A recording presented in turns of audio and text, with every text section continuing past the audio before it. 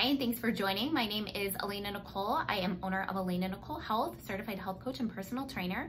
And today I am doing a short video as part of Mindset Monday series, and we are going to be talking about motivation. So for these Mindset Monday videos, I am talking about our most, one of our most powerful, free, most under, underutilized tools that we all have that can help us reach and maintain our goals that most of us do not use to its full capacity. And that is our brain. Why is our brain so important and why I'm so obsessed with it? Because every single thing that we do or don't do is driven by a thought.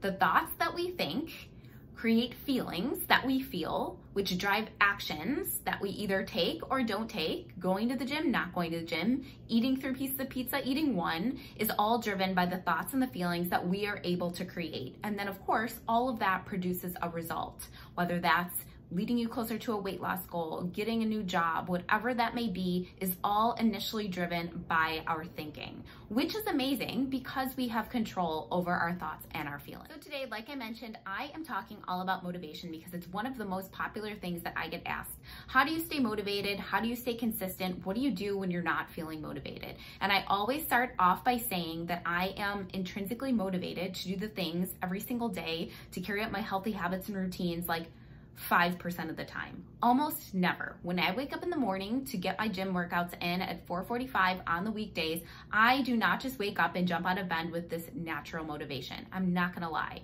But there's a couple key things that are really really amazing and cool to know that allow me to still get up and do the thing. Number 1 is we do not need motivation to actually carry out with what we say we're going to do if we have a clear plan, we have a clear why and, and commitment to what we're going to do, we can rely on any action driving, inspiring emotion to actually carry, carry forward with that activity. The example I always give, like I mentioned, my alarm goes off at 4.45 a.m. and I wake up and I don't have this natural sense of motivation. But I am able to rely on commitment to myself. I know that I said I'm getting up and getting that workout in so I can remind myself of those things that actually remind me of that sense of commitment, that dedication to my goals, and it will get me out of bed in the morning.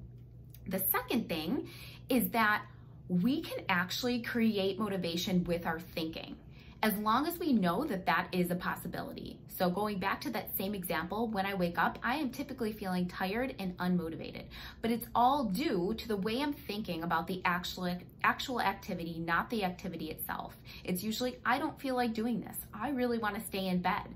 So when we can start to identify what those thoughts are that are creating that feeling for us, many times, you know, unmotivated or whatever it is, we can question them and decide, do I actually wanna keep thinking this? Is it going to give me the results that I want, the actions and the results that I want? Or do I want to decide intentionally how I want to think instead? And that is literally what I do in almost every situation. It's rewiring our brain and creating new thought habits. So basically, when I wake up in the morning, again, going back to that same situation, and I have that thought in my mind, I'm tired, I can do it tomorrow, I don't feel like doing this, I don't want to do it, and I get that feeling of unmotivated and uninterested and sometimes pointless or purposeless, um, I can then decide, nope, that's actually not what I'm going to think right now. I'm going to think about how I want to feel after I'm done. I know I'm going to feel great when I'm done. I committed to this, so I am going to get up and do it and to do it. And I repeat that action and of those thought um, shifts every single day when I wake up, which leads me to the result of getting up more often than not, reaching my goals sooner than I would otherwise, or maybe not at all. And it is extremely, extremely effective. So the key takeaways here are number one, we do not need motivation to actually carry through with the actions that, that are going to get us closer to reach our goals. We can rely on any action driving emotion, any inspiring emotion that we are able to drum up with our thinking whether that's commitment, dedication, persistence, whatever works for you.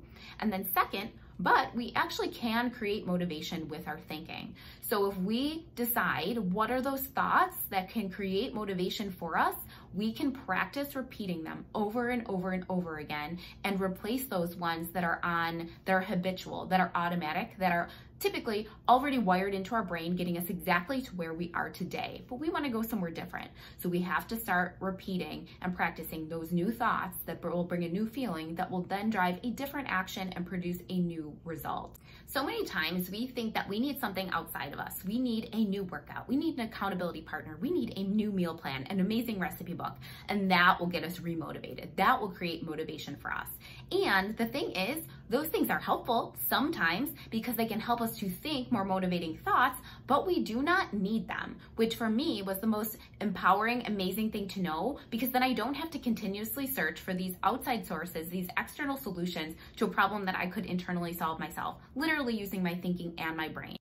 So when you get started with this, you're likely going to notice some of these things after the fact. Maybe it's after you do something you either did want to or didn't want to do. I encourage you to start there and start seeing if you can identify what is that thought that drove you to do the thing that you either wanted to or didn't want to. What was that thought and kind of feeling combination? Like the example I gave, the thought of I want to stay in bed, I'm tired is likely going to keep me help me or push me to turn, hit the snooze button on my alarm and put my head back down on the pillow versus getting up. And I'm not gonna lie, I do that sometimes. More majority of the time that I don't, I don't. So start to look at it after the fact. What drove me to get where I got? And just look at it with complete curiosity and compassion. Do not judge yourself because that is not where we wanna go here. We wanna learn from this. We can actually improve. So start there. Then once you do that repetitively and start to notice what's driving your actions, then you can start to slow it down and catch yourself in the situation. Like when you're, you open your eyes from with my example. What am I thinking here? What am I feeling here? And then you can start to catch yourself before. So now when I go to bed at night, I know for sure I'm gonna have to wake up and recycle and repeat those thoughts. I'm ready to go. It's like getting my sneakers out. I'm getting my thoughts ready to prepare myself for, you know, what I know is going to come the next day.